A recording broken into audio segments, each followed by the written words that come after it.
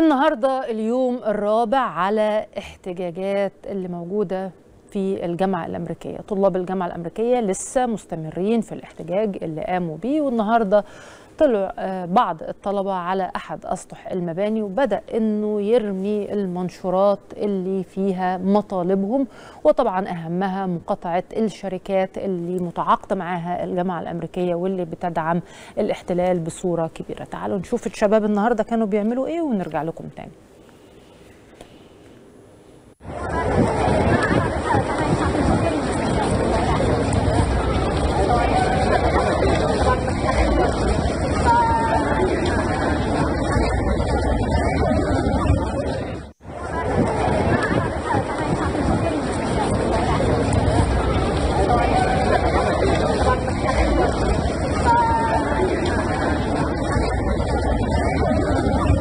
عن الموضوع عمال بينتشر. من امبارح كانت الاحتجاجات والاعتداءات اللي حصلت دي كانت في مقر الجامعة الأمريكية في التحرير بوسط المدينة. طبعا المبنى ده من مبنى الجامعة الأمريكية في التجمع الخامس.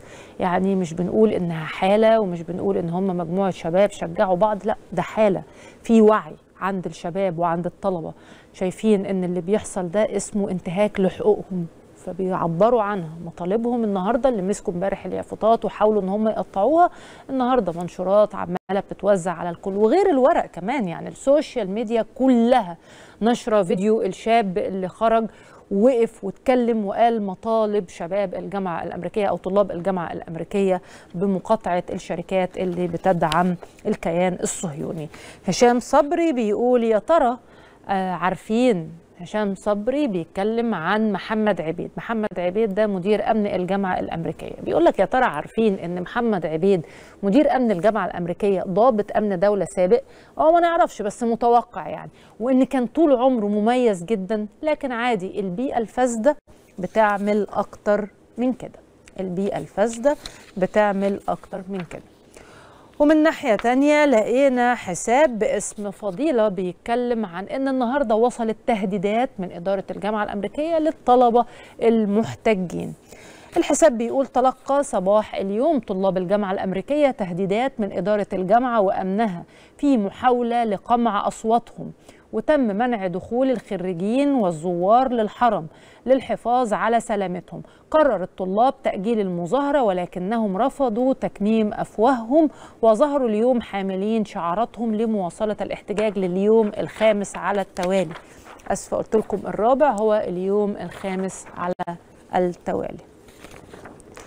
طبعا بقى إيه وإحنا بنتكلم على تظاهرات الطلبة وبنتكلم على طلبة الجامعة الأمريكية ولليوم الخامس محتجين وطبعا احتجاجهم ده بينضم لكل الجامعات الأمريكية في عدد كبير من الدول اللي كلهم معترضين على سياسة وإدارة الجامعة في دعم الكيان الصهيوني عن طريق التعاقد مع شركات بتدعم الكيان الصهيوني.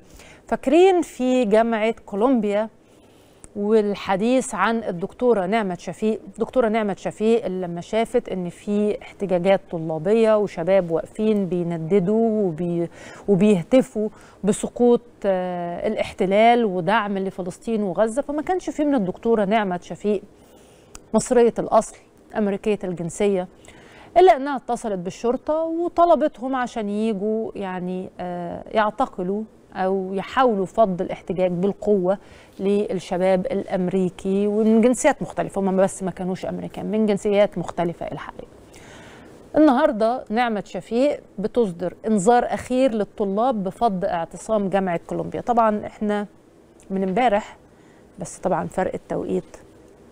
الشرطة كانت أكدت إن هي هتفض الاعتصام بالقوة وطبعا الأعداد عمالة تزيد كل شوية والأعداد عمالة تزيد فأجلوا فض الاعتصام ده لليوم 8 صباحا بتوقيت نيويورك يعني الكلام ده من حوالي ساعة تقريبا وهنشوف دلوقتي طبعا.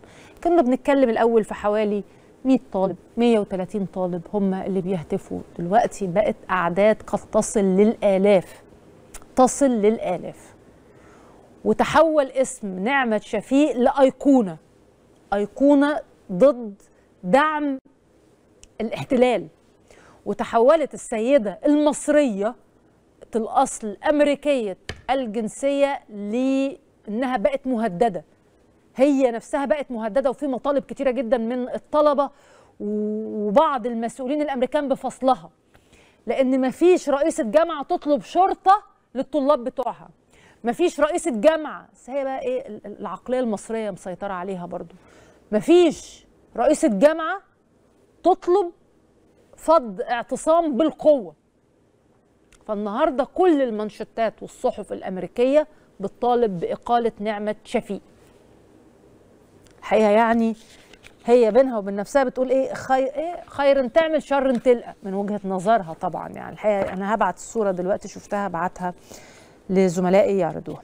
النيويورك تايمز كمان بتقول إن المهلة اللي حددتها جامعة كولومبيا بنيويورك لفض مخيم الطلاب اللي بيحتجوا على الحرب الإسرائيلية المستمرة على غزة منذ أكثر من ستة أشهر انقضت دون وجود علامات.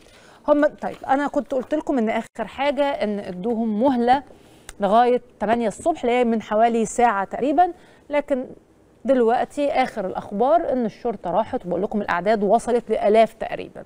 ودت إنذار آخر إنذار جديد لفض الاعتصام خلال 48 ساعة. 48 ساعة. تعالوا نشوف كده دكتورة نعمت وغيرها الحقيقة يعني. طيب خلونا الأول نروح نشوف بعض المشاهد الاستعدادات اللي قامت بيها شرطة نيويورك عشان تفض اعتصام جامعة كولومبيا آه الشباب المتضامنين مع غزة وفلسطين.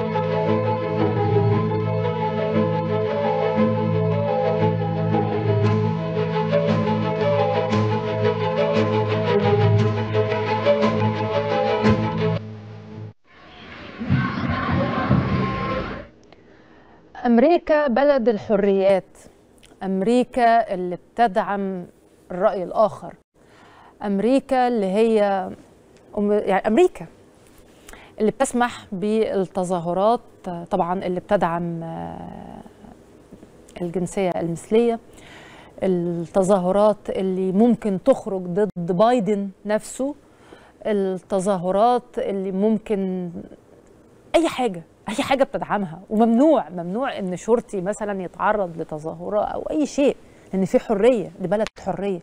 لكن لمجرد إن في طلبة المستقبل بكرة الوعي يكونوا مجتمعين على فكرة إن اللي بتقوم بيه أمريكا لدعم الاحتلال ده ما ينفعش الشرطه بتجهيزاتها باستعداداتها تنتفض عشان تروح تفض الاعتصام. بس ده الوضع باختصار. ده الوضع باختصار. عندهمش مشكلة. اتنين رجالة يتجوزوا بعض. بس عندهم جريمة لو انت رحت وقلت ان فلسطين ما ينفعش تفضل كده. نوقف ضرب على على أهالي غزة. ده مش مقبول. ابدا مش مقبول. آدي النهارده أهو اتفضلوا آه صحيفة اسمها New York Post اللي كاتبة مانشيت اسمه you have to go you have to go وعندنا الصحفية شيرين عرفة كاتبة ملخص ما تم في الموضوع ارادت تقديم أوراق اعتمادها للوبي الصهيوني بجم بقمع التظاهرات الداعمة لغزة في جامعاتها كولومبيا. فتوسع الاعتصام وانتقل إلى ثمان جامعات أخرى.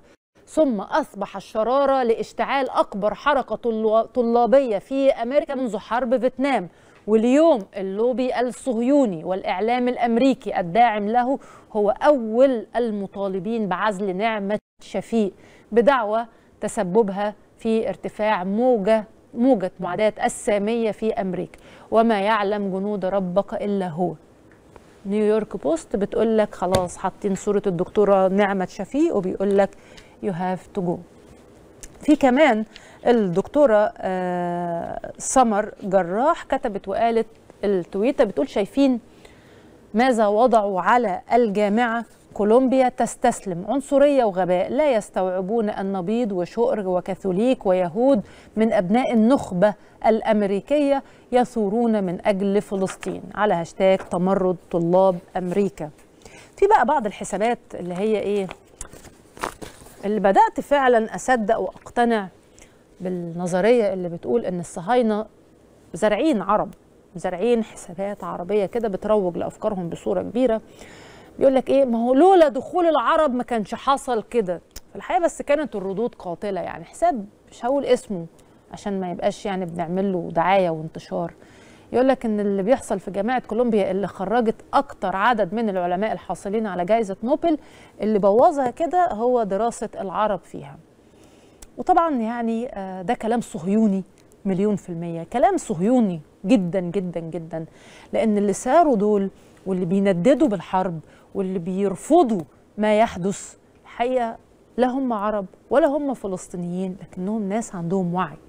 بدأوا يشوفوا. طبعا في عرب موجودين حواليهم وأعداد العرب قليلة جدا على فكرة. يعني أعداد العرب المشاركة في التظاهرات والاحتجاجات دي قليلة جدا. بس قدروا يعرفوا الحقيقة وقدروا يسمعوا لغة أخرى غير اللغة اللي طول الوقت بيروج ليها الصهاينة. معانا فيديو لعدد من النشطاء حول مختلف العالم وهم بيتضامنوا مع طلاب جامعة كولومبيا.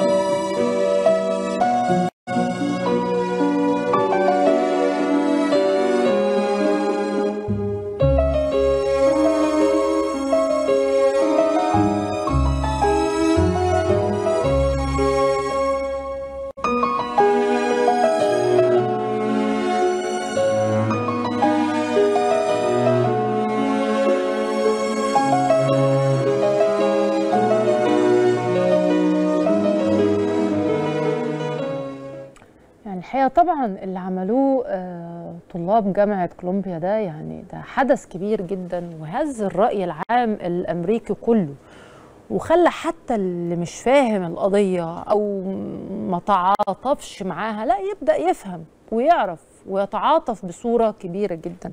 عايزه أقول لكم طبعا إن عدد كبير من الجامعات في الولايات المتحدة الأمريكية قاموا بنفس الفعل وكلهم برضو قاموا بدور واحتجاجات كبيرة لرفض الحرب على غزة. فكان فيش ما كانش فيه إلا الشرطة الأمريكية في ولاية تكساس وغيرها من الولايات إنها تروح وتتعامل بشكل عنيف مع الطلبة.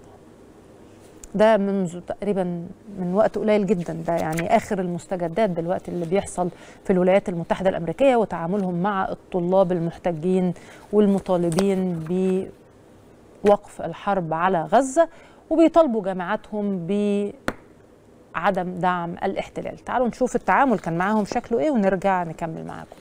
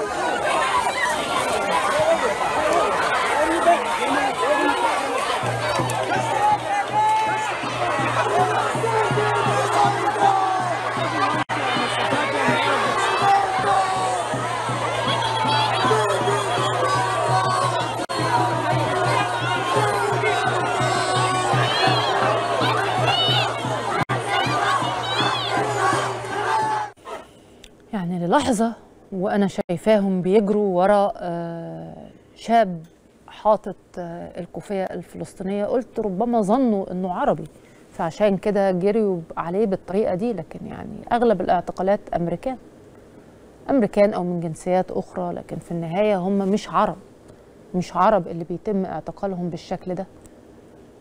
إيه الخوف والرعب والفزع اللي ممكن يخلي الولايات المتحدة الأمريكية بشرطتها بأجهزتها بفض الشغب يروحوا يتعاملوا المعاملة العنيفة دي مع طلبة عزل واقفين بيهتفوا ضد نتنياهو.